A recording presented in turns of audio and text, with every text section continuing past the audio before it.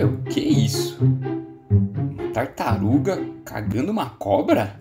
Cara, eu tenho certeza que você pensou que fosse isso, mas não é nada disso.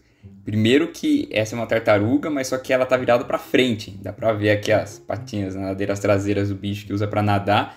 E aqui tá a cabeça, cara. Ó o narizinho do bicho aqui. Essa é uma tartaruga de casco mole, que é um bicho que é predador, é carnívoro. E o bicho aqui ele não tá comendo uma cobra, né? Provavelmente isso aqui é uma enguia, um monsum. Nessa foto aqui dá pra ver como que a tartaruga fica quando o pescoço tá estendido para fora. O que acontece aqui, que um bicho provavelmente de cativeiro, ele tá sendo alimentado como ele está na mão da pessoa, ele está se sentindo ameaçado, então ele recolhe a cabeça. Né? Na natureza é a mesma coisa, quando o bicho se sente ameaçado, ele recolhe a cabeça.